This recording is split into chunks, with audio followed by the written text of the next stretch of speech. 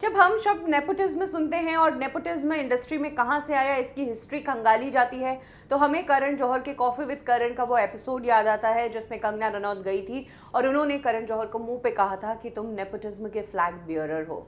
लेकिन आपको बता दें कि कंगना रनौत से पहले एक और एक्टर है, जिन्होंने करण जौहर को मुँह पे कहा था कि तुम बस फेवरेटिज्म खेलते हो और जो लोग तुम्हारे साथ के हैं, उन्हीं को आगे बढ़ने का चांस देते हो। ये एक्टर और कोई नहीं, बल्कि जॉन इब्राहिम है। जी हाँ जॉन इब्राहिम का अब एक वीडियो वायरल हो रहा है, जिसमें वो कॉफ़ी विद करण शो का हिस्सा बने नज़र आ रहे हैं और उन्होंने करण जौहर को मुँह पर कहा कि तुम क्लैनिश हो, सिर्फ़ अपने क्लैन के लोगों को ही आगे बढ़ाते हो। एक्चुअली जॉन ने करण को ये जवाब उस बात पर दिया था जब करण ने जॉन से पूछा कि आमिर, सलमान, शाहरुख तीनों खान्स में से आप किस खान को खान ऑफ़ ऑल सीजन्स मानते हैं? इस पर जॉन इब्राहिम ने करण जौहर को मुँह तोड़ जवाब देते हुए कहा था कि तुम बहुत क्लैनिश हो।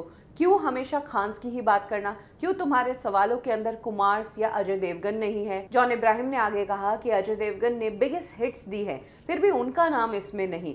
इसके जवाब में करण जौहर उलझ गया और करण जौहर कहने लगा कि तुम तो बहुत ज़्यादा कंफ्यूजन क्रिएट कर रहे हो। जॉन ने आगे कहा कि वाकई में तुम क्लैनिश हो। इस पर करण जौहर कहते हैं कि ठीक है, मैं क्लैनिश हूँ, लेकिन तुम फ्रेटर्निटी के फ्लैग बियरर बन रहे हो। इसके लिए बहुत बहुत धन्यवाद कुछ इस तरह से करण जौहर ने सिचुएशन को हैंडल किया था, लेकिन 2011 की ये बात है, जॉन इब्राहिम ने करण जौहर की दोस्ताना में काम किया था और उसके बाद ही करण जौहर के शो में जॉन इब्राहिम को बुलाया गया था और तब जॉन इब्राहिम ने मुँह पर करण जौहर को जो बात बोली, Aamir Salman Shahrukh according to the खाना of all seasons. You're very clannish. Me? Yeah, yeah. Why are you so clannish?